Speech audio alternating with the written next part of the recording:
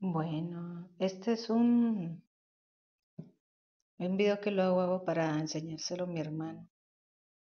Lo que pasa es que hay como una moda de desprestigiar a las personas solo porque son más blancas o porque tienen un apellido.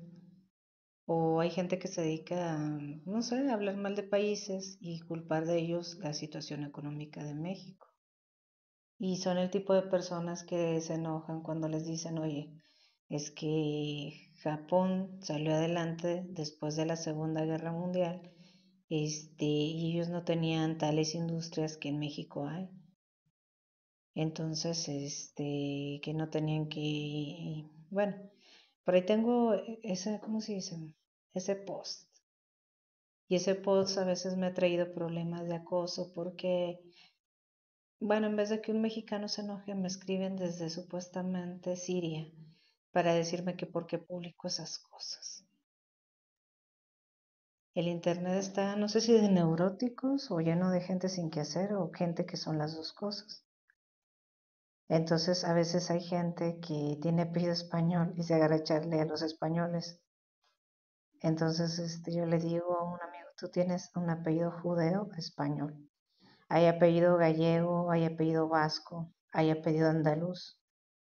El apellido te dice de qué área vienen tus abuelos.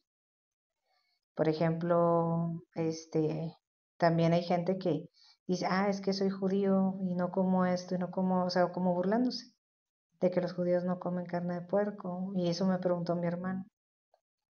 Entonces hay gente que no sabe que en su árbol genealógico tiene nombre de de español. Por ejemplo, Jaime Sabines creo que era alumno de, Javier Villaurrutia y hablaba mal de los españoles. Y Villaurrutia voy a investigar, pero creo que Villaurrutia me parece que es vasco. Voy a investigar, podría equivocarme, pero se oye como vasco. ¿De qué sirve el apellido? Bueno, por ejemplo, aquí debemos una historia que no debemos de olvidar de los españoles que llegaron a México. Por ejemplo, hay un muchacho que ahorita es figura pública que si quiere lanzar la política tiene apellido vasco. Y entonces mmm, le dicen de ultraderecha, pero ¿por qué de ultraderecha? Si posiblemente tiene un familiar que se escapó de la era de Franco, este, como por ejemplo los papás de Andrés García, eran exiliados españoles. Y lo que pocos saben es que los papás estuvieron en un campo de concentración. Cuando perdieron la guerra, Franco mandó a algunos un campo de concentración y la única salida fue revenir a México. Mi bisabuelo era García Urdarbay, José García Urdarbay. Y este José García Urdarbay, este, pues vino con todos sus hermanos de plano.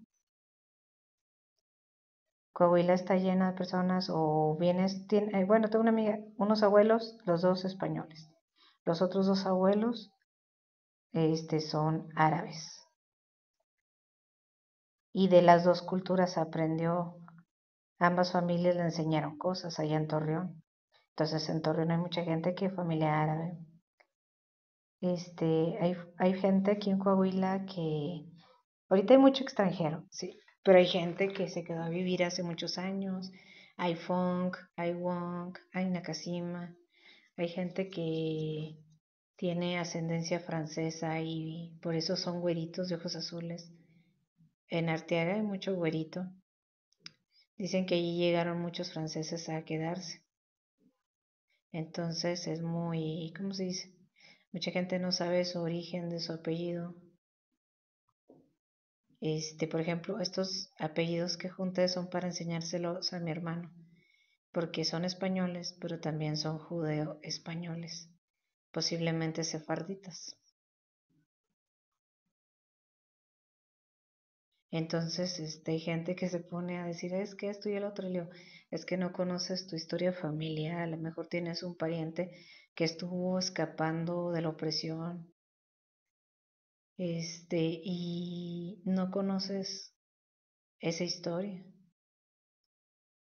O vamos a decir que estás en Estados Unidos y vienes que sus abuelos, tus papás vinieron escapando de un sistema comunista y ahora es lo que tú quieres meter porque te dijeron que es que el artista famoso dice que los ricos deben de pagar más impuestos. Ok, no sé cómo sea Estados Unidos, pero aquí seas quien seas, entre más ganes, más pagas impuestos.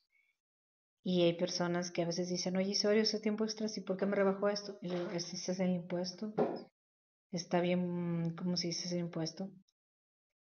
Por eso han estado este año también estas secciones muy estrictos con eso y no te ocupan si no traes tu RFC, que es un, una especie de codiguito que te dan a en Hacienda hecho con tus apellidos, con tu fecha de nacimiento este, y una como clave, porque hay gente que se puede llamar igual que tú y apellidarse, eh, ¿cómo se? Y haber nacido en el mismo día, o que al formarse su nombre, eh, su RFC sea igual que el tuyo.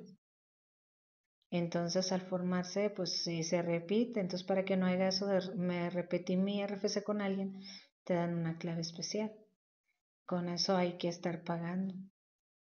Tenía compañeros cuando en un restaurante que estaba en el área de ensaladas, sí, que no se quieren quedar a cocinar una hora de extra. Oye, quédate un tiempo en lo que llega fulanito a su turno, una hora, y si es que una hora no me conviene porque pues me rebajas eso. ¿Cuánto voy a sacar de ese tiempo si me quitas 20, 30 pesos? Este, no, no me conviene quedarme una hora. Porque como, y nadie ahí entraba y te mandaban. Si estabas ocupado te mandaban.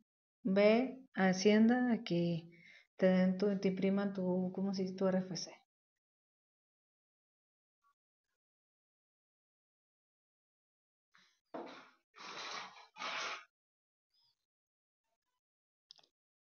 Entonces, pues sí, o sea, hay gente que no conoce la historia de su familia.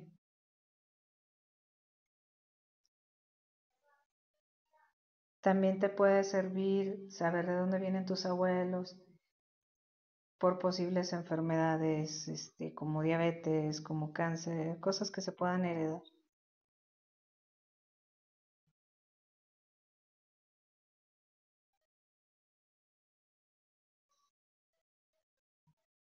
Bueno, eso es solo un poquito de lo que se va a tratar este canal. Que checas historia y pues también voy a poner cosas históricas de Saltillo.